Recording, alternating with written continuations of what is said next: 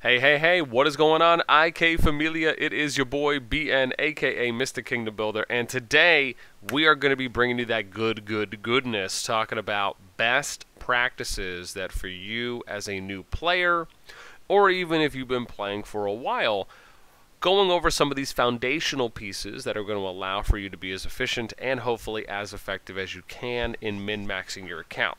Now, before we get started, as always, make sure you guys sub, like, of course, ring the notification bell, and if you want to be a part of our conversation, you can join our Discord in the pinned comment or description. Now, let's start off with pretty much the first thing that you really would be doing when you're getting into Infinity Kingdom, right, is which server do you start in? And I'm going to keep this part short, but I truly believe that there is a bigger benefit overall to starting out in an older server than in a newer server. There are only a few things that you will really get out of a new server. One of those being that you're able to play from day one with other people, and you're able to level your account up with other people along a similar, if not same pace. Depending, of course, on what your time investment looks like. Are you spending? Are you just completely free to play? And then beyond that, there's a few of the beginning events, things like Supreme Alliance, City Siege, just to name a few, where you will just miss out on. And those are some gems that you'll get, but part of it also depends on how high your alliance places. Right there is not, you know, and again, you you know, you get to kind of enjoy the beginning part of, of capturing cities and doing this, and, and don't get me wrong, that is fine and dandy.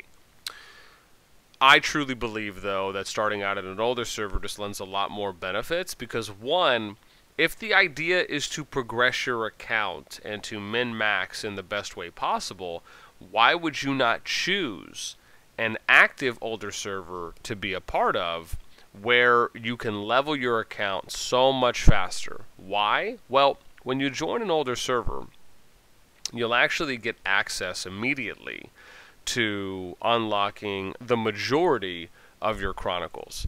And this is coming here where, yeah, you might miss out on some of these, but you're going to get basically all these rewards immediately without having to wait. That means that, for example, if you get all these green gems or resources, you can invest those into areas into your account, some of those which, in which we'll touch on later, but those can go into building upgrades, research upgrades, increasing VIP, purchasing Immortal Shard, uh, Philosopher Stones, right, etc. Some of these. Then, you're also going to be having the benefit overall of being able to, be- well, not benefit, but take advantage of Alliance Tech. And let's just briefly talk about this for Alliance Tech. So, you are, in short, let's say you join an alliance that is level 9, level 10, right? They're close, if not already at max you can already be a part of an alliance that arguably has 150 people after unlocking Big Family. You can also take advantage of techs like Brothers in Arms, right? Which means that you're getting, right? It says help received is negative 1 for the time required for building, upgrading technology speedups, and an additional 270. I believe this maxes at 300 seconds. Uh, which is what is that five minutes if I can do math correctly up to uh, off of the time right that's for each help so, uh, right, this is just something that factors into you being able to uh, go faster with your building and then your research techs. In addition, if you have high gathering tech, researched, you can your your gathering speed can be up to 20% extra, right, for each of the resources. Your load capacities can get up to 20% extra, right, which means you can carry more now earlier on in your account's life. Your SP and your AP recovery, right, can get up to 10% increase for their for their regeneration. If you're working on attack, HP, defense, these are all going to raise the stats of your marches, meaning you're going to be able to attack gnomes, gnome bosses, um, and then, of course, because uh, it's increasing in general, right, you'll also be able to do, uh, some additional gathering, and, on top of also being a little bit stronger if PvP is needed, or even participating in things like Arena, right? There's a lot of factors that these areas will go into just from the general tab. Then when we get over to territory, right, you as a player, you can benefit if you join an alliance that has high tax. This just means that you're getting more tax income from the occupied cities, lower attack costs, right, if you're attacking other enemy cities, right, especially if you want to do some honor trading, you could save some AP there. Um, in addition, if let's say you're doing things like decree, uh, cooldown, or for example, like minimize losses, right? A proportion of your fighting uh, of your troops when you're fighting within your alliance territory, right? Are decreased, so you're not taking as much damage now. Uh, when you fight on Alliance territory, so if you're fighting gnomes on Alliance territory, Immortals attack are increased, right? So again, these are just some of the techs that uh, from the Alliance that will benefit you as a player going into an older server. Now let's get into some of the other areas, right, when it comes to general things that you're going to be doing in the game.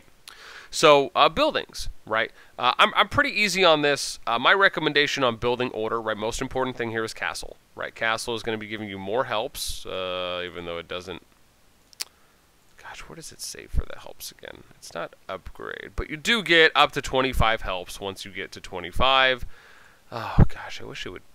I'm sure it tells me that somewhere, but I've already been given helps. Okay. Anyways, yeah, essentially you get up to 25 helps at level 40, right? After, after you get to a certain point, um, the, help, the amount of helps you're going to get are going, are going to increase for each level um, that you go up. Now, once you get your castle upgraded, right, if you're trying to min-max, right, then you would go castle, you would go Academy, and that's just because you need to be able to get into Academy tech pretty early. And then Wishing Fountain is what I like to go next, and that's just because you get the free praise here from being able, right? So, you know, again, when you're at, when you have this at 40, which is max level, you can then do up to 20 free attempts. You could see 160k resources, which times that by 10, 1.6, 3.2 mil that you get a day just from these, and that's only if you just do up to the free 20 attempts, and that's minimum. You can also crit on hitting praise where you can get to times 2, up to times 5. So again, that's really good. If you get up to the times 5, right, what's that, 5? You're looking at 800,000 resources, right, just for one pray out of the 20. So again, it's pretty good. Um, you might average 2 to 3 uh, out of 20 attempts, um, I would say is probably a good give or take. Uh, then, after you get done upgrading Academy and Wishing Fountain, the next thing you're going to want to immediately uh, go into upgrading is going to be your resource building. So you would go gold, is always the order, right? So you want to max dwellings. Then you would go iron for smeltery, smeltery, and then, uh, if that's even how you say it, and then quarry for stone, lumber for wood, and then your farm for food. Right, and then as you're kind of upgrading other things, you can do that passively. Now, let's say you do decide that you're like, you know what, I don't mind spending a few dollars.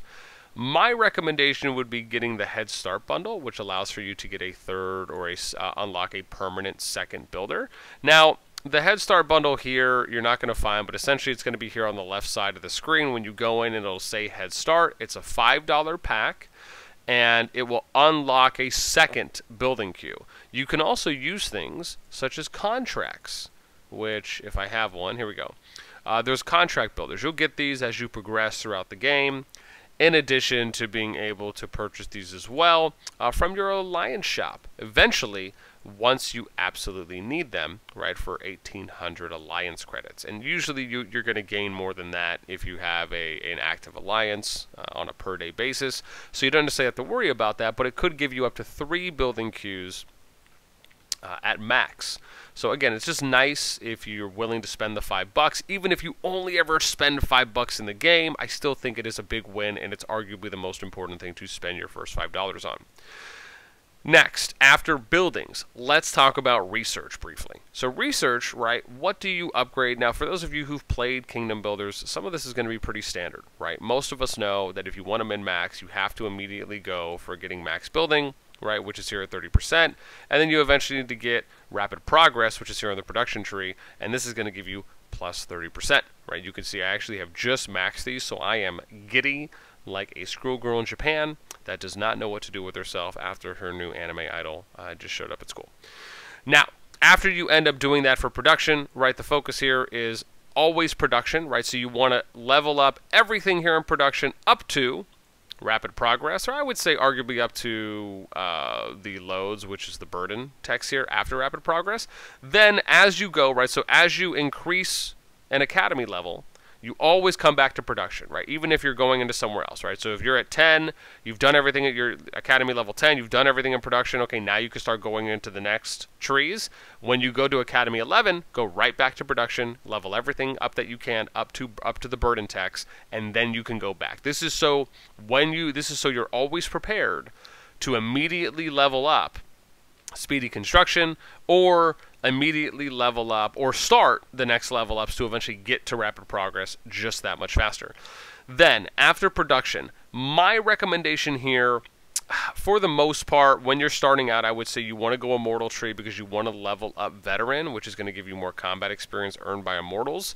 So, that's something that I think is good. However, it also allows for you to get to boosting consumption, which I think is just more important, really, than veteran, uh, because at late game right now, for the most part, players are still using their primary march until they can get their second uh, additional marches up, right to where they can start attacking level 31 gnomes, uh, which is where you start getting at minimum the epic gear uh, for your immortals.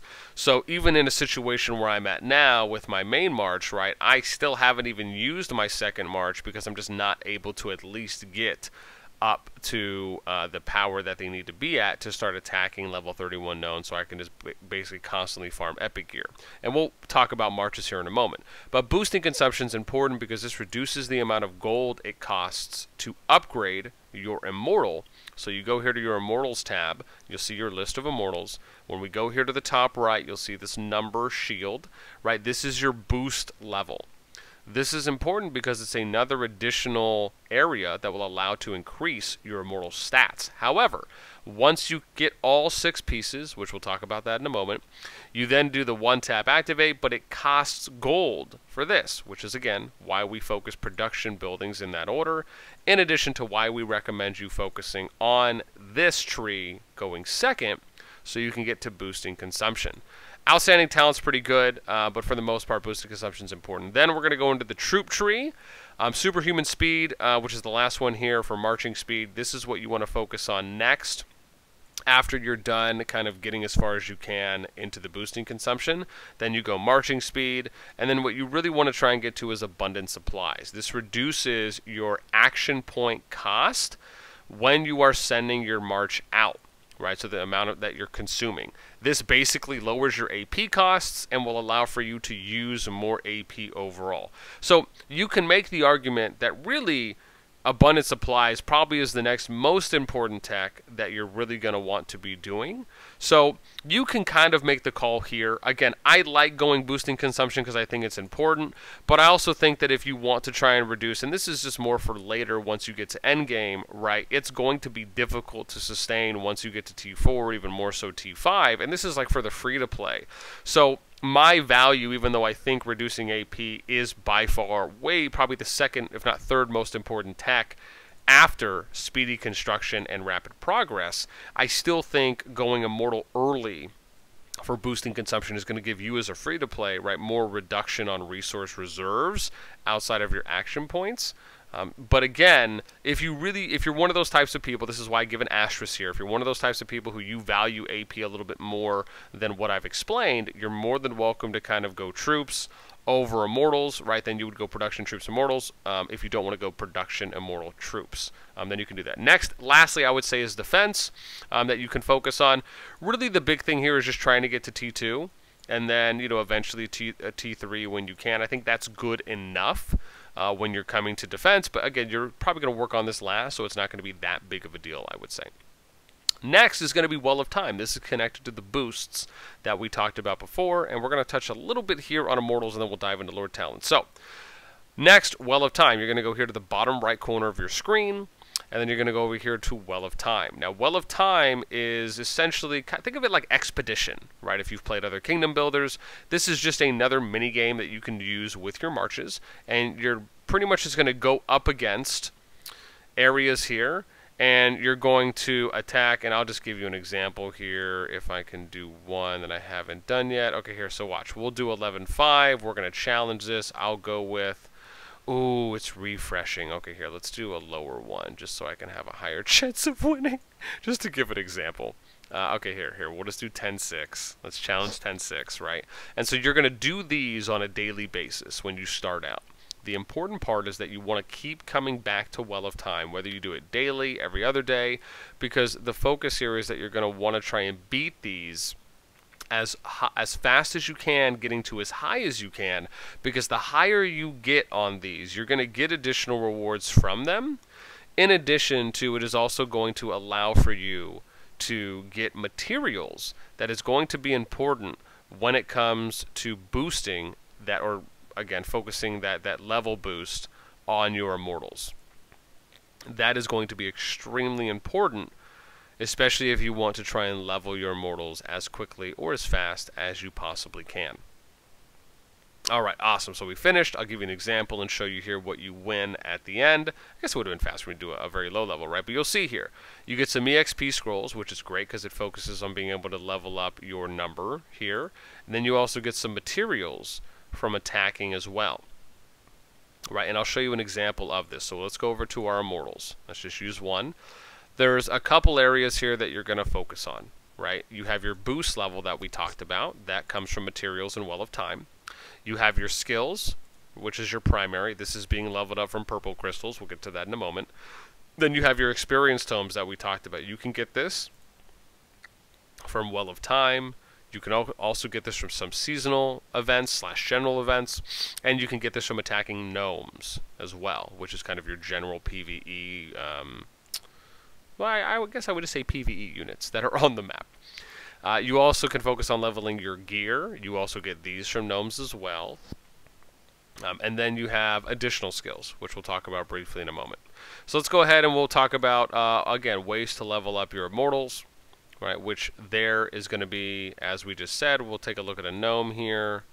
If I can find one, cool. So here's a gnome, right? You get a certain amount of EXP for attacking, you're going to get some enchant stones. Now, these are used to upgrade equipment that we just showed you on the immortal. You also have a chance of random drops, right, of elite or of epic gear, right? And again, that starts at 31. You can see here, uh, I can't show you a, I don't know if there's a 30 around here, but essentially 31 is where it starts. That's just kind of what you need to know, at least when it comes to the highest tier level of gear.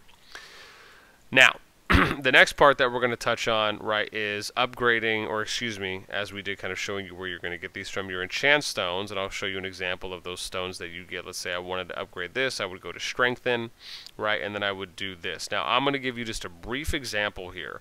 You want to go, first, first and foremost, never do the one-tap strengthen.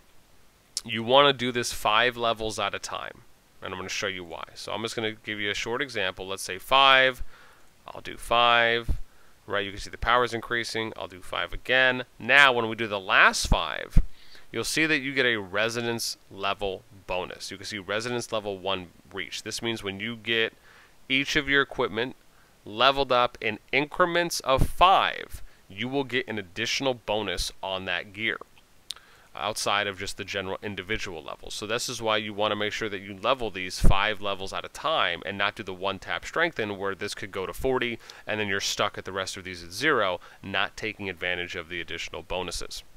Okay.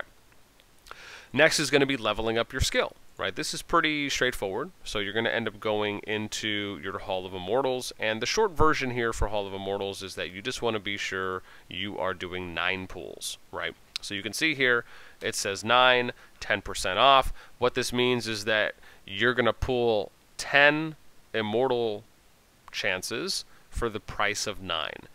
Always do this. The only time you want to do the 1 is when you get the free attempt for your philosopher shards here, you can do these. You get five free a, a, day, but then anytime you get these individually, just do them right away. They, they nothing comes up here that allows for you to do them all at once. You have to basically do the individual click. A little monotonous, I get it, but it is efficient. Now, or I, I should say the only way to really do it. Then, once you summon these, you would go to your alchemy lab. I don't know if I, I do have some. So you go to your alchemy lab here, and if you want to disenchant or uh, I guess, fil filter these down, you would do that and you would gain, right, these uh, immortal fragments, right, soul shards or purple crystals, depending on how you want to refer to it as. And again, I'm just going to do this because I'm already in a place to do this, but in short, you want to take advantage, right? And if you unlock any epics, right, a good feature here is to use the lock. You can see I have a lot of these people locked right now. What you would do here is you would click on one, right? And this is how it would normally show. So I would go here, I'd click the lock button, and what this does is it means that I can't accidentally disenchant them. Then I would take those shards, and we'll talk about the market here for a moment. I would go into the market, and then, as you can see, I don't have any refreshes left today. I almost had 2K, now I'm down to 748. But you would go here, right, and this is where you can purchase shards to level up the primary skill for your immortals. You can also fish for some by just, you know, refreshing this until you find the ones you want.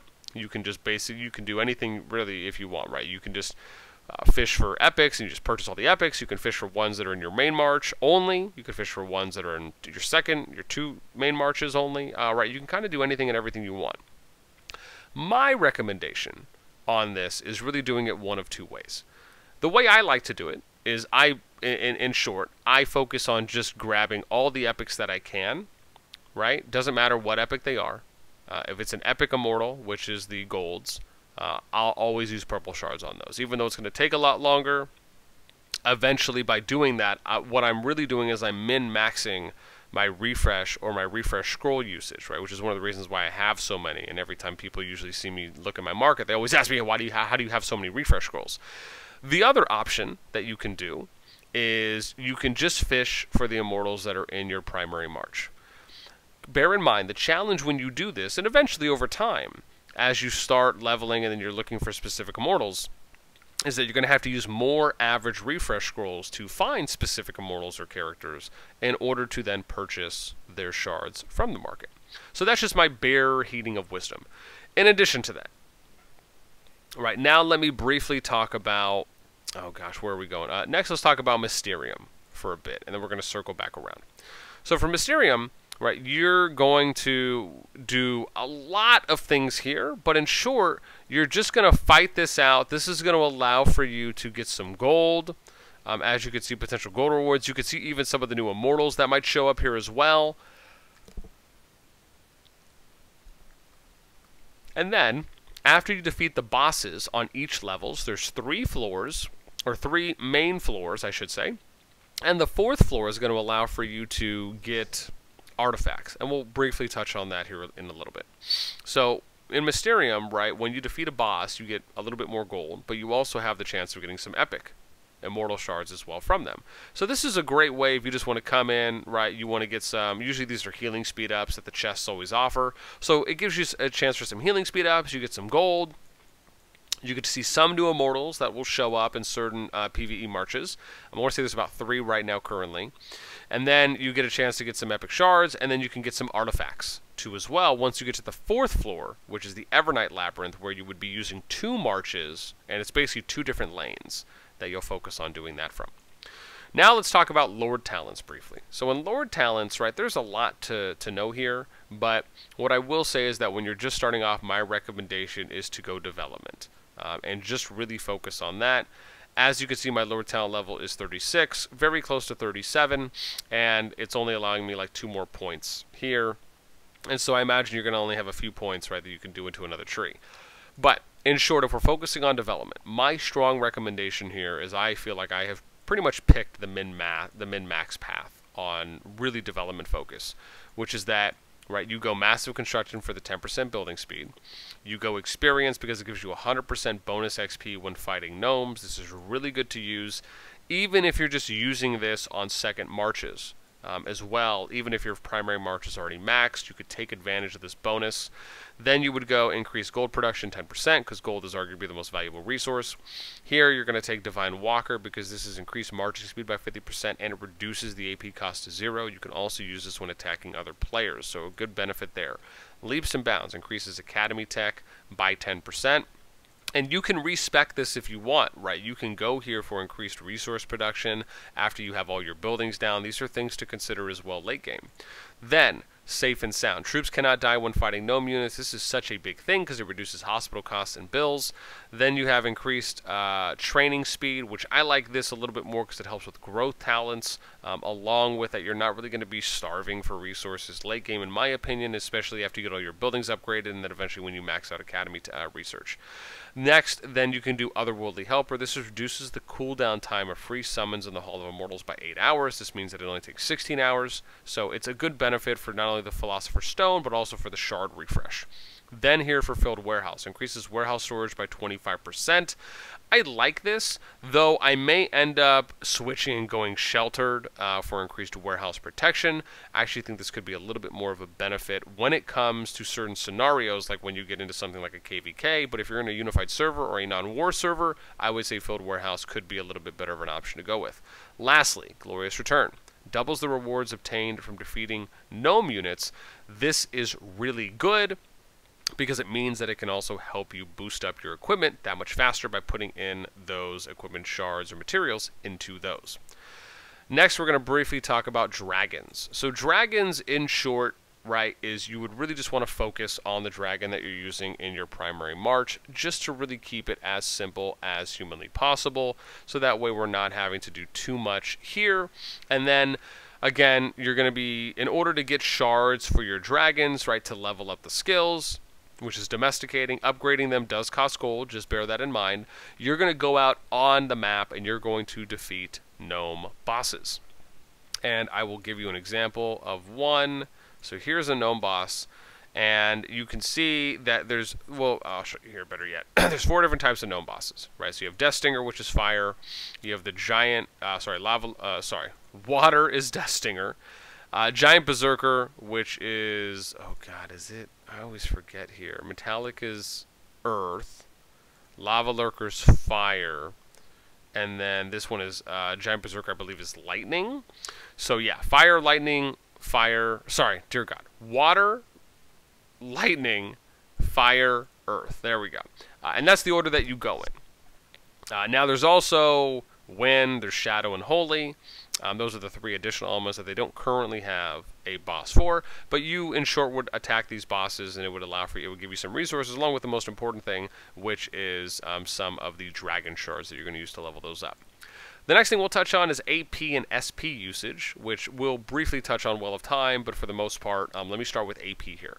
So with AP, you're going to want to focus on draining your AP all the time. This is by far one of the most important things that you're going to do. Now, the order I like to go in with AP usage is doing gnome boss attacks because as you saw earlier in the video, you want to make sure that you are having max chests at your treasury and this is going to be your, or I should say, your trove now, as it has been renamed to. But you want to always try and have three chests here, so that way you can always have an option of which ones to choose, right, depending on the amount of time you're putting in. Do you have to step away for a while? Are you going to sleep? This way you can kind of do your 6 or your 12 hour chests to take advantage of the time. So again, the order you go in, as I said, is you want to go gnome bosses, until you get three chests. Once that happens, then you can go and do the gnomes, right? Now let's briefly talk about uh, skill usage, even though I don't know if I can even look. Can I attack? Uh, okay, this is what we're going to do. I'm going to recall one just so I can show you. 46. Okay, we'll just do a recall now. All right. So let's say I'm attacking this gnome boss. Let me briefly talk about Lord Talent skills. The order I like to go in for Lord Talent skills is I like to go safe and sound, which troops do not die first. Then I'll go glorious returns. I'll get double rewards. Then I'll do experienced, and then after experienced, I'll do divine walker. And again, this is just focusing on on development tree. This is not for these other additional ones that you can get in other areas, or even if you're using other options as well. Now, let's say for example that your primary march is in a position like mine, where even though it is a little bit higher than it is right now, just because it's gathering and I have to do a little bit of refill. Actually, here, hang on, let's see the refill now, so I can just give you a better a better example. Can I boost this? Uh, do we just want to waste the three? Eh, okay, why not? All right. So let's refresh, right? So here's at max now for me. In this situation, all my mortals are at level 40, right? So what do you do? If you want to take advantage of something like experience, where you get 100% gain. So what you do is I would still use safe and sound on my primary march, but I'll use safe and sound testing how high of attacks that I can do. So keep in mind, you can usually attack a gnome that's a little bit higher, right? I was doing level 31s consistently. Now I was able to beat 34 with my Trents, 34 with my Bakans, and then I was able to do 33, but not do the 34 on Rokes right? And these are three different immortals. They basically just give you different equipment types. And so usually when you're attacking these gnomes, you just kind of go in order. Do a Trent, do a Bakan, do a Roke, and just kind of rotate that. That's usually the best thing in a way that I recommend, unless you are hyper farming for like that last piece of equipment or a few last pieces, and you just want to do nothing but attack a certain type. In short, when you are attacking, though, I like to do safe and sound first, and you can test that to see how high you can go. Once you figure that out, then just use the rest there. You could still do double rewards because it doesn't matter if you're using it on your primary. Then once you get to max level, and this is only in the exception if you have a troop that is already at max level where they everyone's 40, then for experienced, use that on your second march, right? That's four attacks that your second march can do to take advantage, even though you may not be using them until they can at least get to level 31, right? Or excuse me, until they can attack level 31 gnome bosses and win, of course.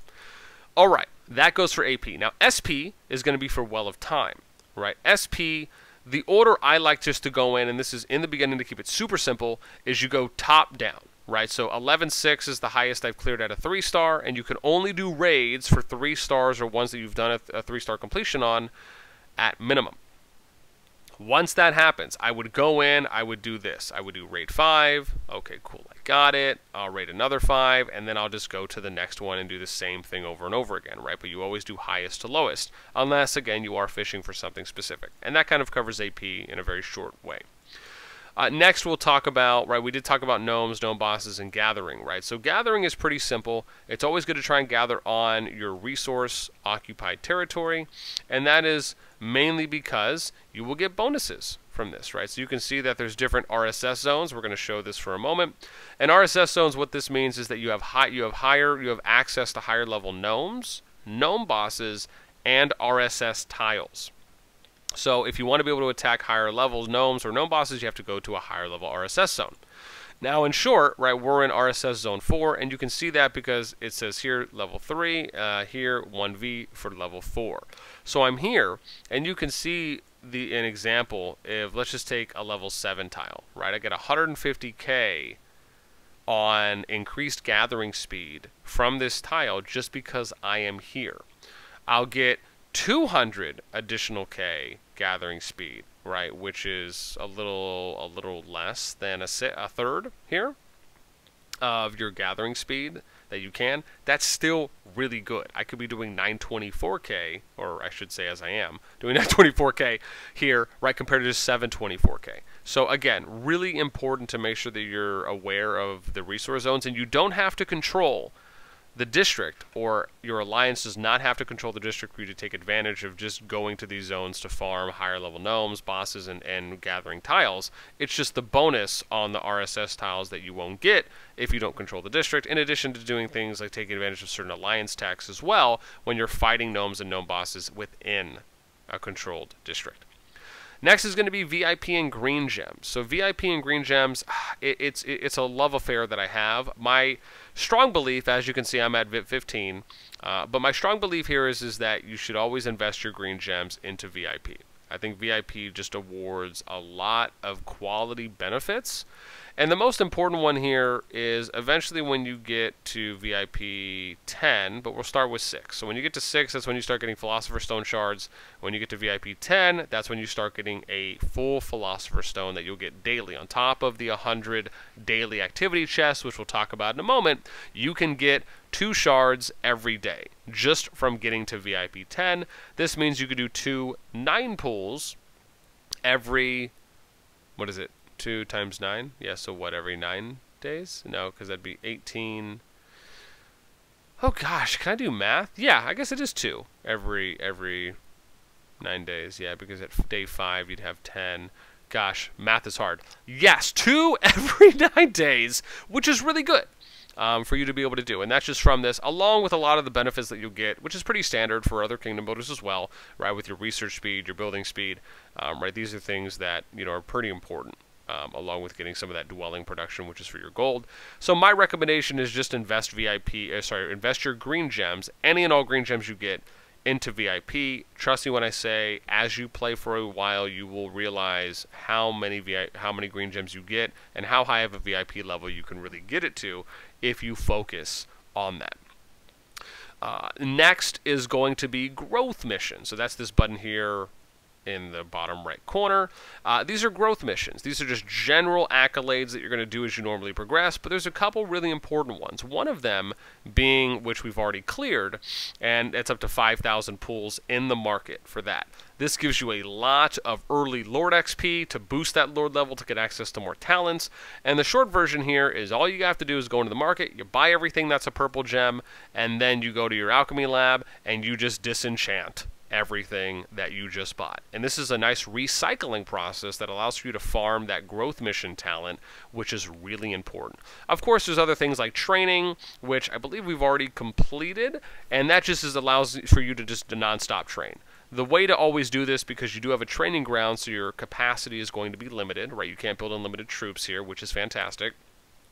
You would go here to train, and then you would click here in the top right where the skull is. This allows for you to dismiss troops. So once you get a full training grounds, you can dismiss the troop type that you may not be using in your primary march, or if it's up to two that you're not using, just depending on the troop types for the immortals that you have in your lineup.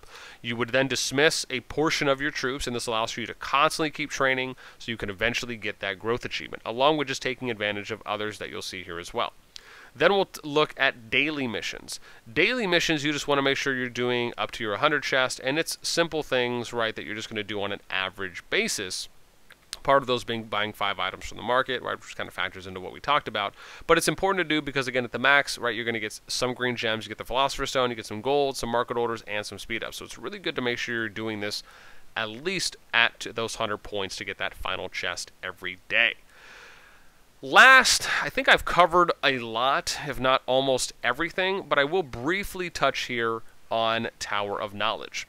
Now, Tower of Knowledge is something that I'm going to say, or and I do also need to touch on Forge, uh, which is for your artifacts. And I know we have Arena. Uh, okay, here, let me touch on Arena real quick so I don't forget. So Arena here is the recommendation of when the season refreshes. This is a nice little tip. You're going to get these like PVE AI matchups that will not be someone's name, but you'll notice there's a trend uh, to it. And this usually happens every time the season resets. When that happens, you want to always do the times three victory point challenges. You can do these up to five. They are free wins and they give you the most amount of points that you can get um, that will go to your I can't even click this up here, but it would go towards your insignia marks, and then you can come in here to the shop, and this is also a place where you get the Wind Dragon crystals. Um, you can invest these into some of your epics as well.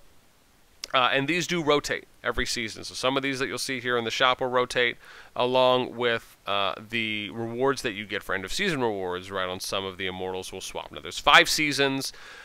they all rotate. So once you get to five, it resets. And season six is season one, seven is two, so on and so forth. But this is just a nice little thing that you can take advantage of when seasons reset, and then you can use these insignias to also help you with other things from the insignia shop in Arena.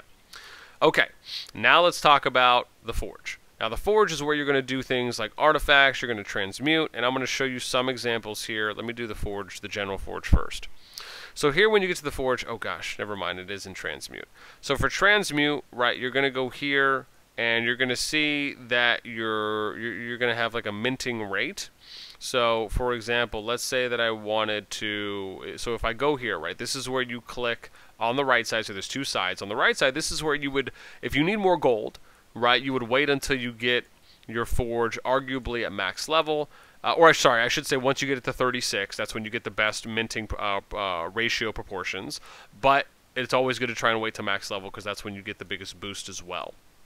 So you would go here, excuse me, to transmute, and then you, again, this is only if you need more gold, right? And I would do this. You could see I can burn this much. I'm going to get that much of gold. It's going to take me this amount of time, right? So my recommendation is really hold off on doing this until you at least get this building to 40, and then only when you need to. This is where you're going to use resources, and you can see how much resources you actually have to use to kind of get the late game tier items, right, which is going to be for your epic artifacts.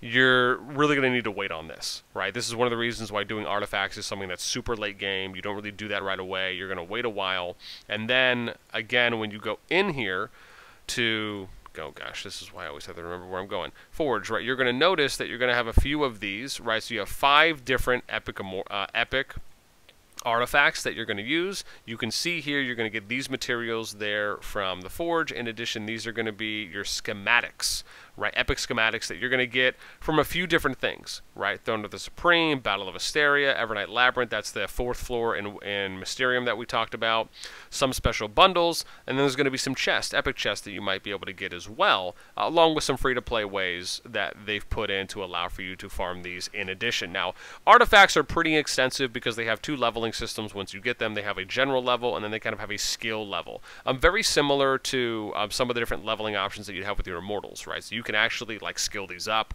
more with stars and then also do uh, additional upgrades on them.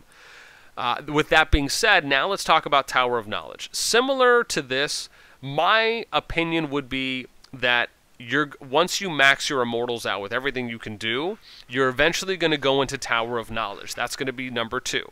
Then once you get, because Tower of Knowledge is where you're going to be able to learn support or additional skills. These support and additional skills will be added on to your immortals. Right now, you can see here in short, epics will give you three additional uh, sub slots, and then everyone below, from purple to blue to green, will give you two right? So again, that's why it's good to try and get as many epics in your main march and use those uh, primarily because you get up to three support skill options. Now, these support skills definitely will give you a huge power boost once you start adding these onto your uh, to your marches along uh, because you're also able to max level these out as well, which also is going to cost the purple shards. With that, this is why these are some things that again, again, because we're approaching this from a free to play perspective. If you are not spending money then this is something you should wait to do until late game. Focus on max leveling or uh, doing the skills for each of your immortals, right? In your in your in your marches that you're using, max out all of those first skills, and then you can dive into Tower of Knowledge. Once you then, you're probably going to spend a significant amount of time in Tower of Knowledge. Once you have, I would say, put skills on all four of your marches, if not at bare minimum, your primary march, which you can always apply that universally as well on how you do things with your account if you just want to look at it like that. Then once you get your your primary march done with maxing their skills out, then you can go over and start investing resources into. And you may be able to do this early, so let me put a small asterisk here, because there are certain things you can do to farm these shards and these schematics as well right? So you can definitely work on uh, artifacts while you're doing Tower of Knowledge. You can even work on getting just materials for these artifacts, right? Even from even once you get to level 15 uh, or Castle 15, I should say, which unlocks Mysterium. Right, you can still do all of these things to start farming. Just bear in mind that the, these are some of the orders and when you really should start looking to do some of these things on, right? Depending on also the level of the artifacts that you want to do. Some people might just tell you, hey, just go for the purples and the elites, which that's fine. Um, I like to be more of a min-maxer where I'm just kind of focusing on, on late game stuff. So for me, I'm just going to do, you know, epics even if it takes me however long. I would just rather spend my time and my resources getting things that are going to allow for me to get those specific items, or uh, late game items, right, uh, no matter how long it takes, rather than using a portion or some of those resources to do the next tier or the tier below. Uh, but again, that's just my opinion on that. With that being said, I did not think I was going to be at 43 minutes for this video. There is a lot. I'm definitely going to put time cards here. I hope you guys enjoyed as I'm, in addition to really wanting to believe I did a good job in covering as much as I possibly could because there are some new things that have been added, um, especially since we last did our best practices video for all of Infinity Kingdom. With all of that now finally being said, a great resource is going on the official Infinity Kingdom Discord, which again you can find that along with other links and necessary information and other resources in the description down below. That is it for me. I hope y'all enjoyed. I'm out. Until next time, we will catch y'all later.